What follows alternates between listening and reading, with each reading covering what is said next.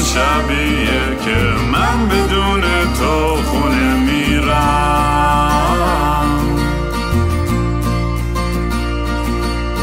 امروز همون روزی بود که قلبم و زیر پادله کردی.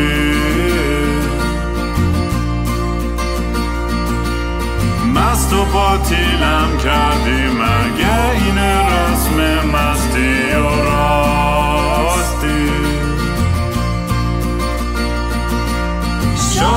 فردا خوب بشه. این جای زخم قدیمی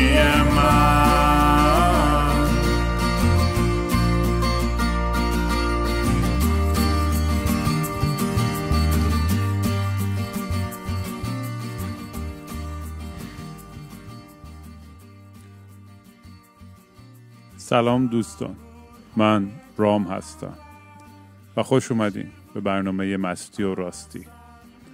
برنامه ای که من توش کمی مست و یخت چت میشینم پشت میکروفون و کلی چرندیات میگم. این اپیزود اپیزود 20 اپیزودی که اصلا فکر می‌کردم هیچ وقت ساخته نشه. همین که به اینجام رسیدیم خودش داستان خیلی عجیبیه. اگر از اول گوش کرده باشین فکر می‌کنم متوجه بشین منظورم چیه. و اگر گوش ندادین برین از اپیزود یک شروع کنید و از سیر و بالا پایین های این پادکست رو گوش کنید ببینید که چه اتفاقی افتاد که به اینجا رسیدیم. اگر دوست دارین کار ما رو دنبال کنید توی سوشال میدیا با هندل at kingram k i n g r a a m توی توییتر، اینستاگرام، یوتیوب و تلگرام می‌تونید دنبال کنید. و اگه دوست داشتین پروژه بعدیمو بهش کمک کنید برای funding می‌تونید به gofundme.com slash kingram برین یا Venmo اگه دوست داشتین اونم at kingram. ولی دمتون گرم که تا اینجا کنار من بودین و با همدیگه دور این آتیش نشستیم و این داستان رو تعریف می‌کنیم و شما گوش می‌کنید من گوش می‌کنم. یعنی انقدر پیغام و مسیجای جالبی گرفتم تو این چند وقته از شماها و یه سریاش خیلی شیرین و یه سریاش خنده دار و خیلی فان و بامزه. یه سریاش خیلی تلخ خیلی دارک خیلی سخت. یه سریاش اصلا نمی‌دونم چی جواب بدم. یعنی انقدر وحشتناکن. ولی یه چیزی که می‌دونم مشترکه بین هممون که اینو گوش می‌کنیم و تو هر رده سنی باشی اینه که تنها نیستیم. واقعا این- به هم ثابت شده و این خیلی خودش نکته مهمیه.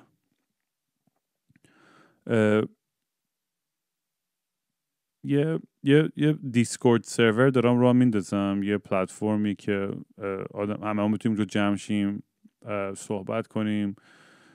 حالت forum طوری و ایناست. اگر می‌دونید چیه خب نیاز به توضیح نداره. اگر نمی‌دونید یه گوگل بکنید در موردش بیشتر بخونید.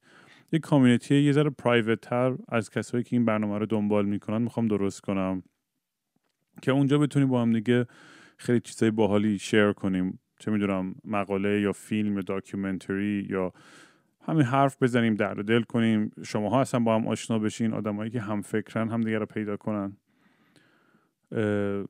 فکر می‌کنم باحال بشه. یه می‌دونی من خودم چون خیلی چند بارم گفتم خیلی خسته شدم از از دنیای اه، توییتر و اینستاگرام و اینا. توش خیلی کسافتکاری زیاده.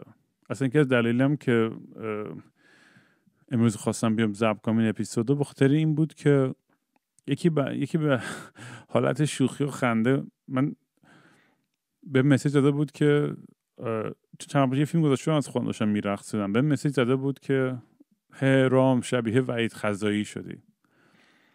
که خب خیلی کامنت خنده داره خود طرفم خیلی خندید و منم خندیدم. واقعا با بامزه بود کامنتش. ولی یه زیر زیر این این مسج یه چیز خیلی برای من ناراحت کننده بود که شت یعنی این آدم این رو وحید خزایی سمبل همه چیزایی که من نیستم توی زندگی. مثلا کار خوب بدیشو ندارم. دارم میگم اون اصلا از طرز فکر انقدر با دنیای من متفاوته. از لحاظ اهداف یا از لحاظ فلسفه از, از همه چیز از برخوردش با انسان ها و اینکه من مقایسه بشم با اون هرچند به شوخ می‌دونید یه ذره یه, نگرانی بهم داد که نکنه من اینجا یه دلقکی بیش نیستم می‌دونید پشت میکروفون. چون بعضی هم هی مسیج می‌زنن که آقا دراگ بزن برو از, از, از تریپا تعریف کن و فلان. آره اونام جزء زندگیمه. یه اپیزودایی هم در مورد اوناست در مورد اون تجربه هاست در مورد دیوونه و خرکی بازی های من و جیسن و دوستای دیگه ولی واقعیت داستان یعنی که هممون همه انسان ها موجود پیچیده یه بودی که نیستیم و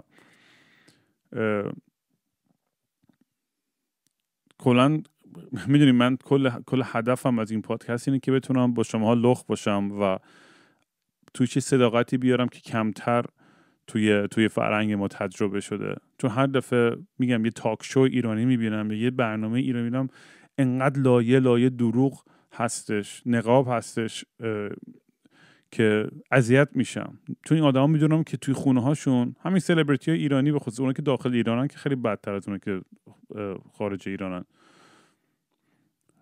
اینا زندگیهایی که توی حریم شخصیشون رو می‌کنن زمین تا آسمون فرق داره.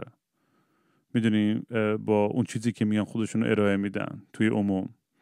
و اینو درک می‌کنم می‌فهمم می‌فهمم. جمهوری اسلامی قوانین هست ولی به این معنی نیستش هنوز که اونا دارن دروغ میگن. چون دارن دروغ میگن. چون تو خونه هاشون اگه مشروب می‌خورن یا سکس پارتی دارن با drugs و فلان و یا اگه گی یا لزبیان یا هر چی اینا چیزایی که از ترسش یا از به خاطر قوانین کشور یا به خاطر اینکه خیلی وقتا به خاطر اینکه اون اون position مالی خودشون رو دست ندن مجبورن خایه مالی این رژیم بکنن و تو اون سیستم بخوان بقایی داشته باشن باید با اون قوانین اونا این بازی رو بازی بکنن. و اینو خود منم این کار کردم. خود منم رفتم اونجا گفتم خواهیت تو دهنم. توی داستانه مجوز گرفتن می‌خواست تو اون پروسه بودم و فلان. من رو درک می‌کنم. ولی به این معنی نیست که من اون موقع دروغ نمی‌گفتم. معلومه دروغ بود. اصلا خودم از خودم حالم به هم می‌خورد که می‌رفتم با دروغ روی استیج روی استیجی که نمی‌تونستم اون چیزی که می‌خوام باشم باشم.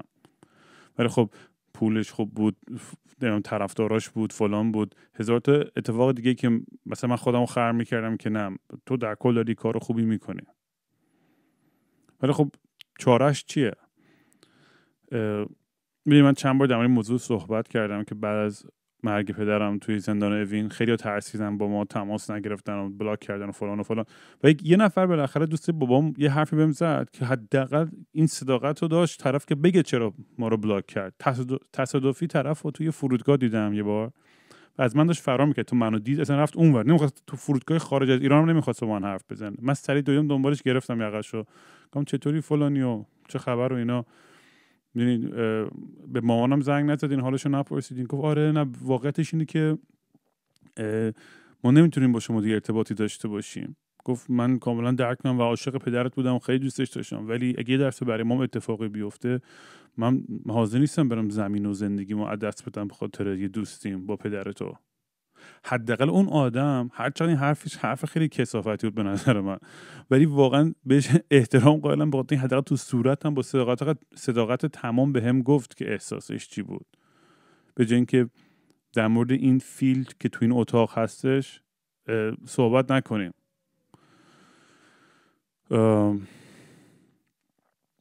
آره خلاصه وعید خزایی. و اصلا این فکری که می‌دونی این روزان با بحث تطلو که پیش اومد و اینکه اینستاگرام بلاک شد من خیلی هنوز نمی‌خوام نظر کامل و تو دیتیل این داستان برم چون واقعیتش اینه که می‌خوام خیلی حساب شده و با فکر و درست چون این بحث من خیلی بحث مهمیه و بحث خیلی بزرگتر از فقط تطلوه من احساس می‌کنم که راحت ترین جواب اینه که فقط بگی آقا خود تتلو و 4 میلیون تو طرفدارش بود همه برن بمیرن مثلا فلان. این این خیلی راحته این حرفو زدن بدون, بدون هیچ فکری پشتش. و به نظر یه جنبندی خیلی غلط و حرف اشتباهی به نظر من. دلیلش هم اینه که یه یه اصطلاحی هستش یعنی تو انگلیسی یعنی اصطلاح که یه چیز علمیه که میگن treat the cause not the symptom. یعنی به جای که دنبال سمتوم بریم برو دنبال علتی که به, به اون سمتوم رسید به اون سرطان رسید علتش چی بود؟ بعد غذا خورد طرف نمی‌دونم ژنتیک بوده سابقه داشتن خانوادهشون فشار استرس چی بوده؟ می‌دونی؟ اون اون چی بوده باعث شده که اون سرطان رو به وجود بیاره؟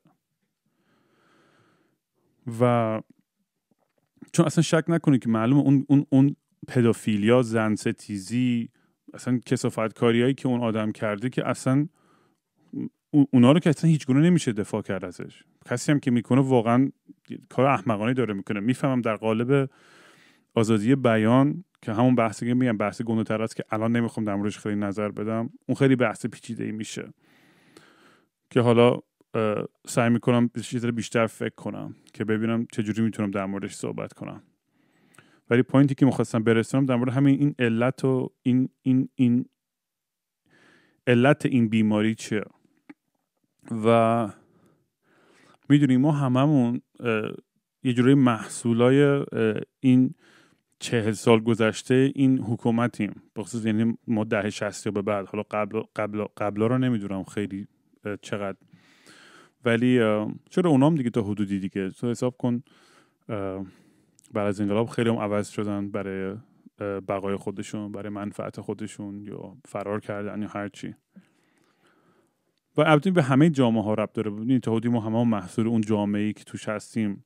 ولی توی ایران به خاطر این لیست دراز کسافتکاریا و جنایاتی که این حکومت کرده می‌دونی یه سری آدمایی تولید کرده و الان یه سری داخل ایرانن خیلی به خونشون تشنن و انتقام می‌خوان بگیرن. خیلیشون خارج از ایرانن خیلی ها موافقن خیلی چه می‌دونم. ولی یه،, یه،, یه چیزی که می‌دونم اینی که الان تطلو یه, یه،, یه دونه چی میگن سمتوم این داستانه. من یه دونه سمتومم به یه جور دیگه مسیح علی نجات یه جور دیگه است. آرش صبحانی کامبیز حسینی همه خبرنگارای خارج و داخل ایران و این بچه سپاهی ها رائفی پور فلان و این تئوری توته ها این یعنی همه این ماها یه چیز مشترکی داریم که محصول این, این حکومتیم و یا از طرفش یه ضربه گنده خوردیم. یا جز راندخورا و اون تیم دار دسته خودشون بودیم ما.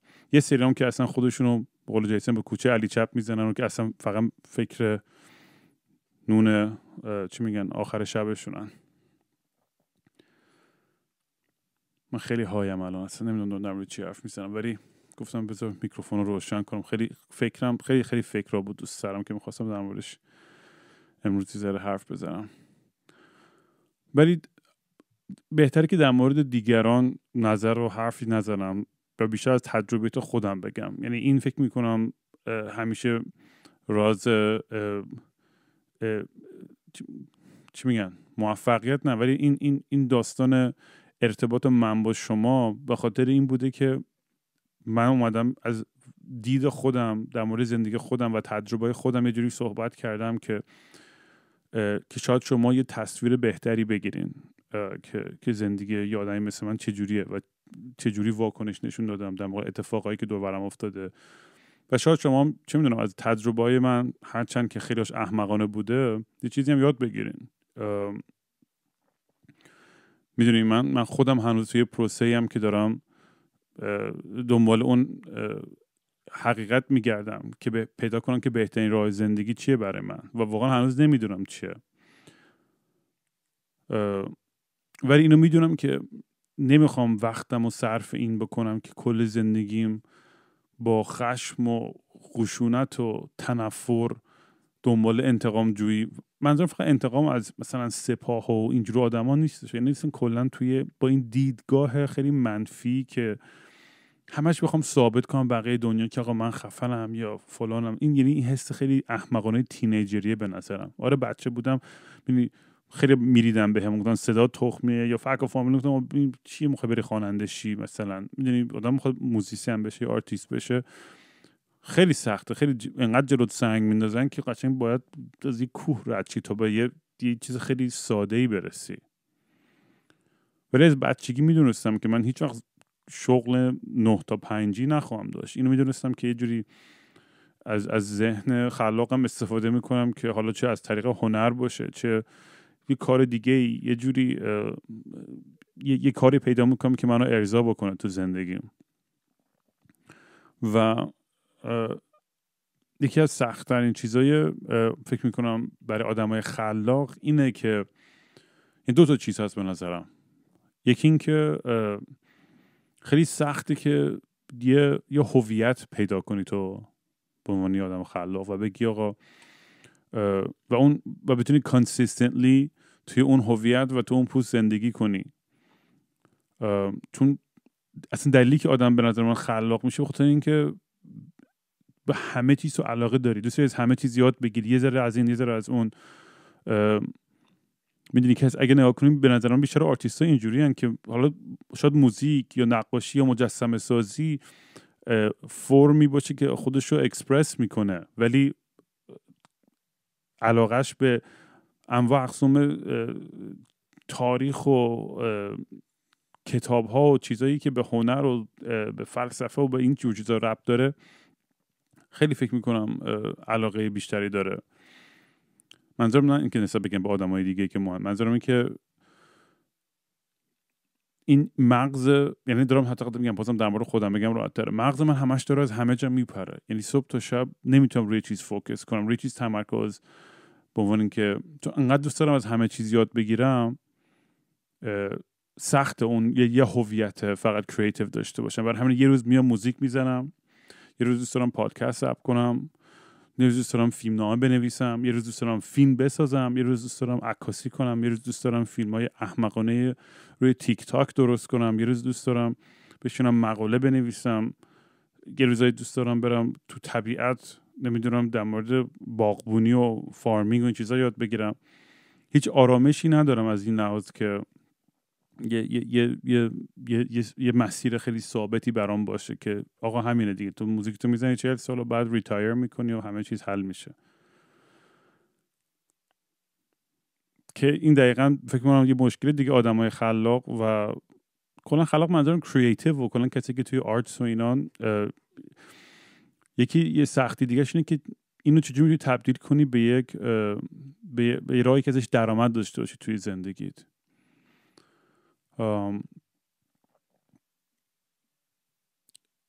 بذار یه قلوب بخورم از بربنم می‌ذاره تنم خوش شده.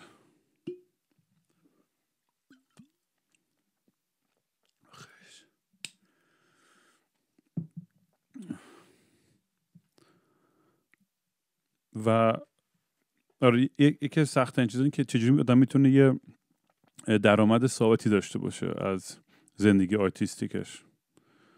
تقریبا غیر ممکنه یعنی اصلا انقدر سخت شده و همیشه بوده حتی معروف ترین خواننده و musician ها میشستم حتی تا خیلی سال که موفق بودن هنوز داشتن bartending می‌کنن یه کار دیگه می‌کردن که بتونن خرج خودشون رو در بیارن. به این معنی هم نیستش که مثلا میگم الان توی جایم که واقعا برام چیزای مادی و پول و اینا اصلا خیلی همیشه بیمعنی بوده ولی الان یه جوری برام که فقط دوست دارم که بتونم یعنی یاد گرفتم دوست دارم که یاد گرفتم که واقعا راضی باشم. با هر چی که دم دستم با کمترینی که دارم خوشحال باشم.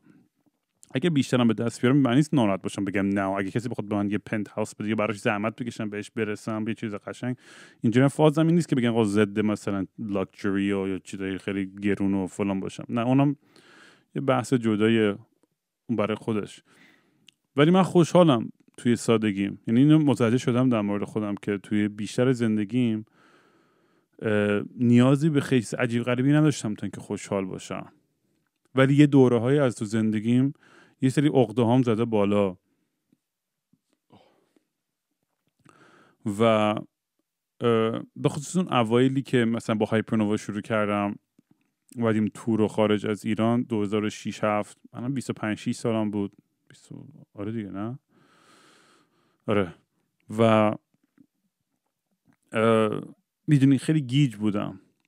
کلی توجه گرفتم. اون اوایل ولی موزیسین خیلی تخمی بودیم و بعد اون موقع MySpace بودم چند صد هزار نفر مثلا تو MySpace follow مون می‌کردن و بعد کلا نمی‌دونستم چجوری deal کنم با این attention و یه می‌دونی دقیقا من همین مسخره می‌کنم همیشه همه رو. من خودم یه فاز خیلی چیز امام زمانی گرفته بودم که من سرنوشتم همین و انگار کهکشان بدهکار بوده. که من مثلا بیام و مثلا بترکونم و rockstar شم و برم توی تو، تو همه اون فانتزیامو برآورده کنم.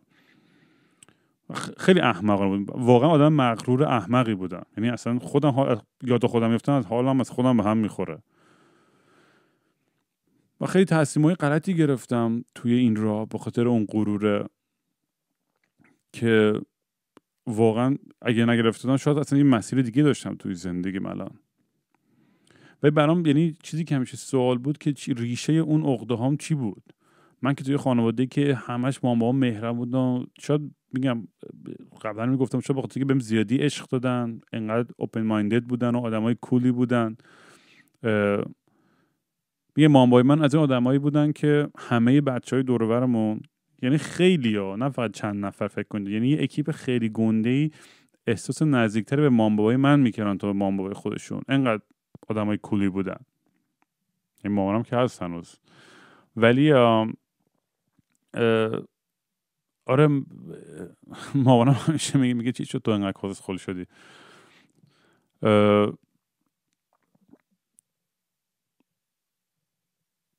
آره من خودم تعجب کردم. مثلا اون دوران می‌دونی آدم وقتی که شروع کردم چون با آدمای مثلا معروف تر دوست شدن یا آدمای پولدار دوست شدن و من همیشه خانواده مثلا خب ما هم خب متوسط به بالا بودیم. پدرم خوب استاد دانشگاه بود درآمد آنچنانی نداشت ولی پدر بزرگم آدم نیمچه مرفعی بود که از اون مثلا یه ذره چیز رسیده بود. و جاخ مثلا کش فلو یا پول نداشتیم زندگی ولی راحت بود در حدی که سخت بود و یه پاژن و یه لاندروور بود و از این چیزا. لندروور هم مال سی چهل سال پیش ها لندروور داغونه که هندلی بودن بعد برای خودم خیلی عجیب بود. من نمی‌دونم حالا اون موقع چه عقده هایی باعث شد که انقدر تمک کنم برای پول برای قدرت برای معروفیت. و خب یه دوره کوتاهی بود دیگه این اتفاقی که افتاد. ولی من فکر می‌کنم که همه آرتیست ها این دوره رو میگذرونن. می‌دونی؟ یه،, یه،, یه سیر این ego که بالا و پایین میره توی مسیری که تا خودش رو کشف کنه و بفهمه کی و و این پروژه تازه اول راه وقتی که خودت تازه می‌فهمی که او من چقدر آدم گهی بودم. حالا تازه journey شروع میشه که آقا من با کدوم سمتی باید برم. برای بعضی هم شاید این این journey و این مسیر مثلا خیلی یکی دو ساله حل بشه. برای بعضی شاید 60 سال شد تا آخر که بمیریم چه حل نشه. همش توی در حال جستجویی. هیچ هیچ راه خاصی نداره. میگم چون همچنان هم میگم دنبال اون اون حقیقت هم, و هم همچنان دارم سعی می‌کنم بفهمم که اصلا جای من کجاست توی این کهکشان. این کهکشانی که اصلا سالهای نوری میلیاردها سالهای نوری قبل به وجود اومده و تریلیون تریلیون تریلیون سال دیگه همینجوری میره تا همه ستاره و خورشید و همه چی نابود شن ما قشنگ یه لحظه کوچولو بلیپ. اصلا هیچی. و من می‌خوام خوشحال باشم تو همین یک ذره زمانی که دارم اینجا. برای همین میرم. هر از گاهی تجربه عجیب غریب مثل آیواسکا یا ایبوگا یا ماشروم و اینجور چیزا می‌کنم. بخاطر دوست دارم یه یه, یه, یه آچار بکنم تو چرخ هستی و وجودیت و همه این چیزا و بتونم دنیا رو از یه دید دیگه ببینم. و خودمو محدود نکنم. چه می‌دونم دارم چی میگم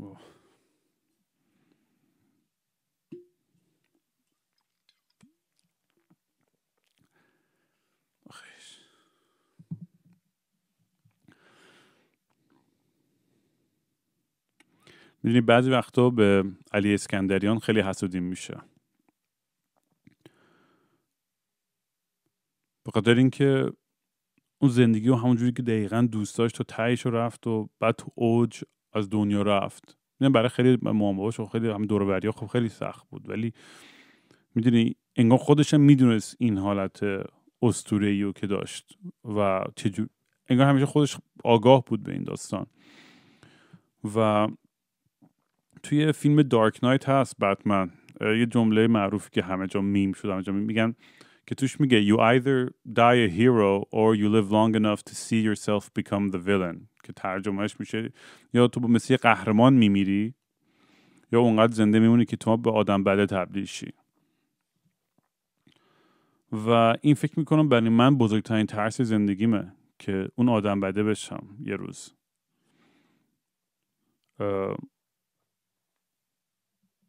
می‌دونی من یه چیزی که خیلی آرامش میده در مورد مرگ پدرم اینه که واقعا واقعا توی اوج از زندگیش رفت. همه حالاشو کرد سفراشو رفت خدمتشو کرد به کشورش به مردمش کلی نسل و به چیزهای خیلی خوبی یاد داد.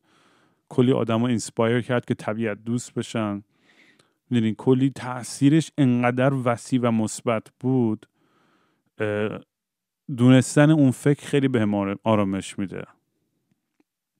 من موقعی که کازنم وقتی که 18 سالم بود اونم 16 سالش اون توی اتفاق وحشتناکی توی توی سنوبوردینگ از دستش دادیم تو اینجا تو ونکوور.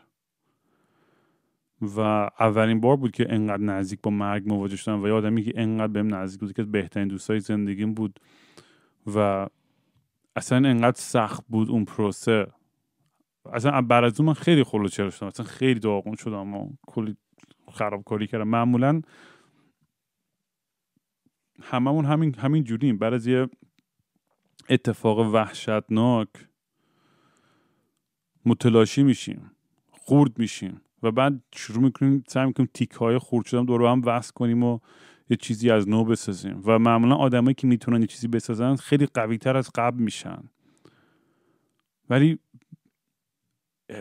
می‌دونیم بعضی وقتا مثلا آدم از خودش که میگه فاک چقدر اتفاق بد برای من بیفته. یعنی می‌دونی از خودکشی دوستان بوده تا اون داستان دخترم تا سگ هایی که تو بغلم مردن که اصلا اونا خودش دردی که اونا داشته اصلا آدم یه چیز عجیب غریبی اگه نداشته باشی تا امیدوارم هیچ نداشته باشی. اصلا خیلی به جزئی و پروسه از زندگیه تو داستان علی اسکندریان یلو داگز تو دوره ایران پدرم فلان.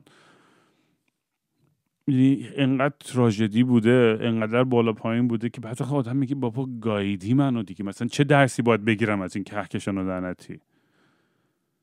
بذار زندگیمون بکنم. یه تک دارم قور می‌ذارم امروز ببخشید. سرتون رو واقعا درد آوردم. اصلا نمی‌دونم دارم چی میگه ولی فکر رو هم یادم میره. هی اه.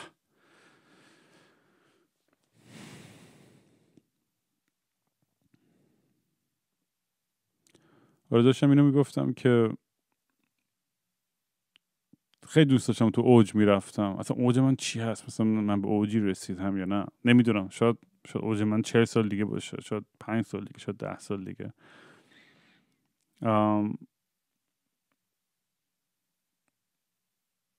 آره این اون برای من بزرگترین ترس زندگی اینه که تو پیریم یادم بچگی هم خب عاشق Syd Barrett بودم. مطمئنم خیلی بچه هم که الان psychedelic بازن یا فلان. همه داستان Syd Barrett رو شنیدن و توی Pink Floyd و اصلا کسی که سازنده Pink Floyd بود و نفر اصلیشون به آخرش خودش. بخاطر که انقدر اسید و این چیزا می‌زنه اصلا میره توی دنیای دیگه و نابود میشه و البته بگم Barrett آدم بود که precondition داشت به به به این سری مریضی و بیماری روانی. ولی خب اون موقع ما که بچه این چیزها رو می‌خونیم که نمی‌فهمیم ما فقط اون side خیلی جذاب و چی میگن خیلی رنگی رنگی سایکدلیکش رو می‌دیدیم که واو چقدر داستانش خفن و چقدر آدم استثنایی و ولی اگه برید داستان سید برای تا آخر عمرش بخونی یکی از افسرده ترین و ناراحت ترین داستانهای دنیاست. آدم چاق کچل با یه رکابی توی بیسمنت خونش آخر عمرش زندگی می‌کرد. توی زیر زمین. تو زیر زمین خونه مادرش. و این دقیقا تصویر منه الان.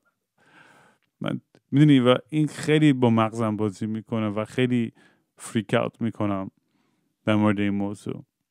میگم شت یعنی دقیقا بچه که بودم بزرگترین وحشتم بود که گفتم اون یا هیچ خواهدم یه عکس های آخر عمری سید برایتم نگاه کنی خیلی ناراحت کنندن خیلی.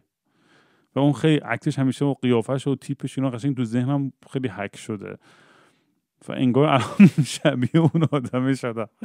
و خودم میرینم تو خودم ولی میگم نه تو هنوز وقت داری که فصل بعدی زندگی تو بنویسی. دیر نشده.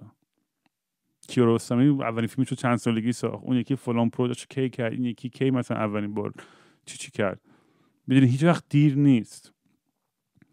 ولی به این معنی هم نیستش که بعضی خود تایی دلم نترسم از اینکه شت واقعا چه گوی خوردم با زندگیم و چه گویی قراره بخورم. بر همین منم مثل خیلی شما ها شمایی که به مسیج می‌زنید و ذره توهم دارین در مورد زندگیتون یا ترس دارین یا سوال دارین من واقعا جوابی ندارم که بهتون بگم.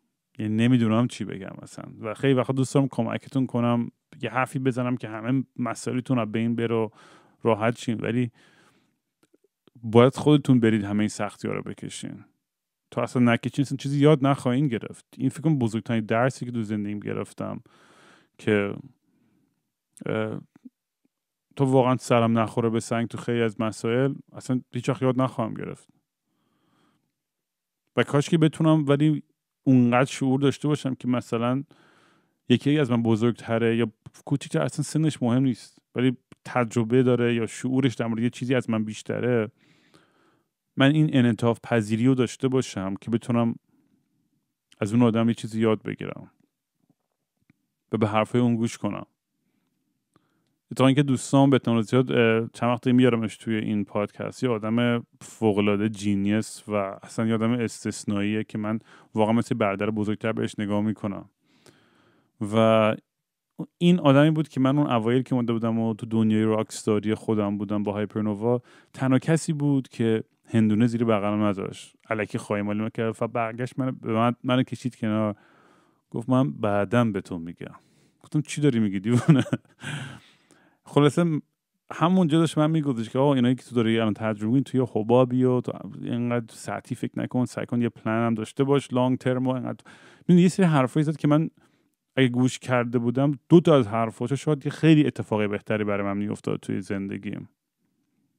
شاید یه ثبات خیلی بیشتری داشتم به جای اینکه اینقدر پراکنده بود همه کارا.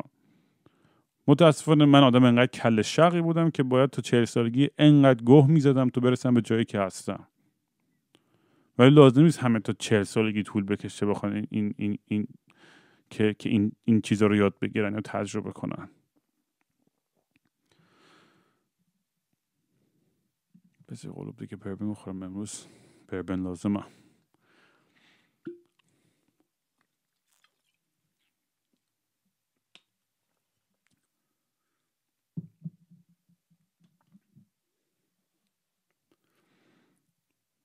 این پادکست واقعا منم کمک کرده که خودم بهتر بشناسم. ببینم کیم و همین که بلند بلند میام این افکار احمقانه به شما میگم و در میون می‌ذارم هزار بار گفتم برای من اینو تراپیه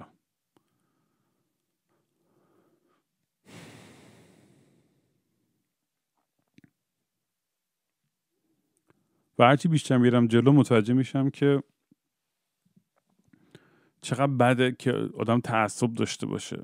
و همین میگم این انعطاف پذیریم خیلی بالاتر میره و خودم خیلی بازترم به اینکه قابل انتقاد باشم چیزهای جدیدی یاد بگیرم. و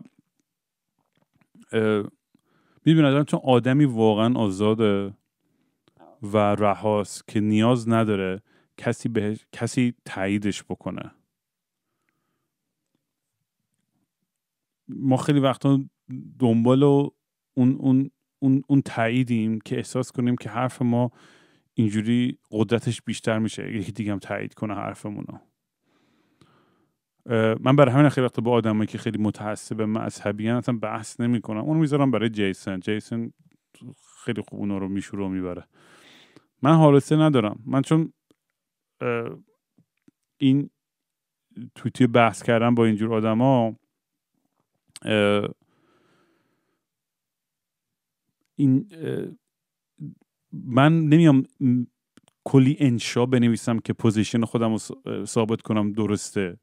سعی نمی کنم تحمیل کنم. سعی نمی کنم بگم آقا باید این حرف منو باور داشته باشی. ولی اون آدم متعصب هر طوری که شده انقدر می نویسه انقدر زنگ می‌زنه انقدر پیغام می‌ذاره انقدر تو تلویزیون ایمیل میره فلان مصاحبه می‌کنه سعی می‌کنه حتی رأی بگیره. میره مردم رو گول می‌زنه که بره توی position قدرت توی دولت. آدمایی که تشنن به اون قدرت برسن دقیقا آدمای متعصبی که احساس می‌کنن باید تحمیل کنن همه اون عقاید خودشون رو بر دیگران.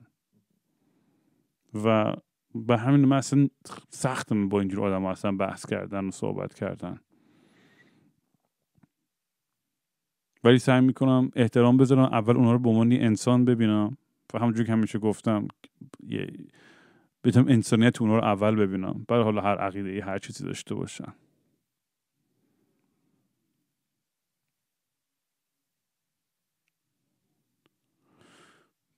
اصلا چه بخوای چه نخوای واقعا این این این موج پیشرفت و تکنولوژی و علم و تکامل داره جلو میره. یعنی حالا یا می‌تونی سوارش بشی باش بجور یا همونجوری سعی کنی مقابل چیزی وایسی که اصلا غیر ممکنه. اون خودت رب داره. خودت می‌دونی که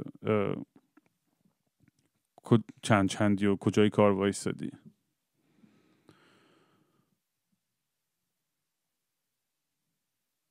من امیدوارم که مثلا نمی‌دونم این پادکست چقدر ادامه خواهد داشت و تو کجا خواهد رفت جلو. ولی امیدوارم که چه الان چه خیلی سال دیگه کسی اینا رو گوش بکنه بگه ای این آدم می‌دونی حرف دلشو زد. حالا هر چقدر درست یا غلط یه, یه چیز واقعی با همون در میون گذاشت. خوبیاش بدیاش ضعفاش فلان. و اینم به یه آدم دیگه هم حتی شجاعت اینو بوده که خودش باشه. من که خیلی حال می‌کنم.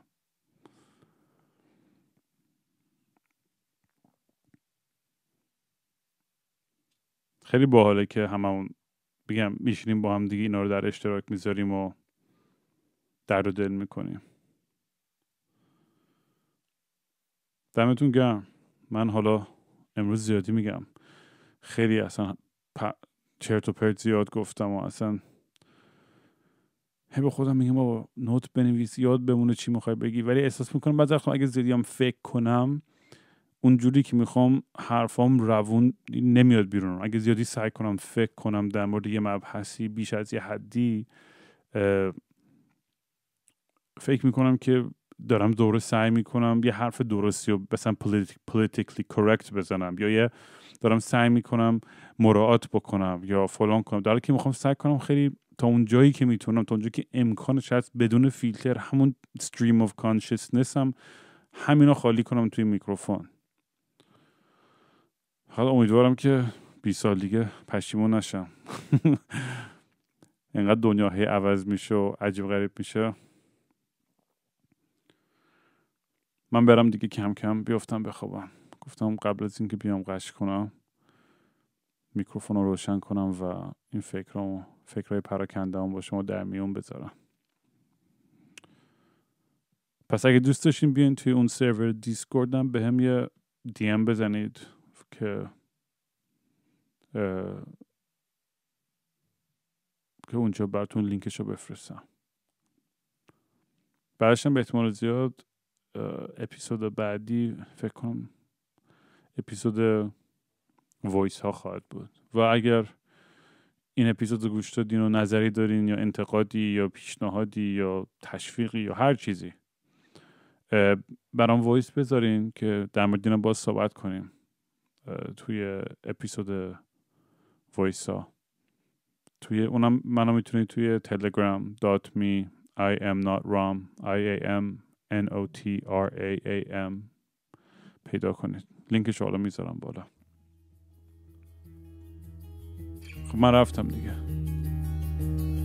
چاکس همگی. آهنگ دیره.